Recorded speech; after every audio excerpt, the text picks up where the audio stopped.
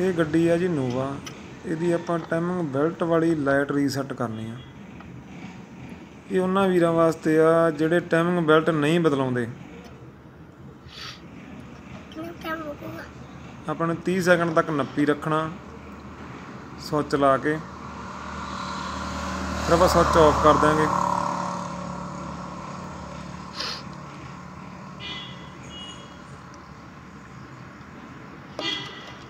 Switch off ਕਰਕੇ ਫਿਰ 20 second ਤੱਕ ਨੱਪੀ ਰੱਖਣਾ।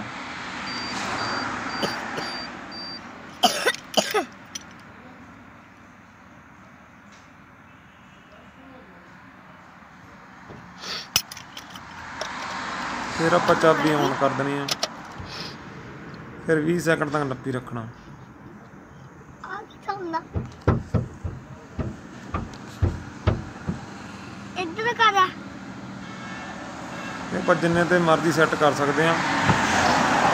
ਜਿਵੇਂ ਹੁਣ ਆਪਾਂ ਇਹਨੂੰ 20000 ਤੇ ਕਰਨਾ। ਹੁਣ ਆਪਾਂ ਦੋ ਨੱਪ ਦਿਆਂਗੇ 20000 ਤੇ ਹੋ ਗਈ। ਜਾ ਉੱਧਰ ਹੀ ਆ ਜਾ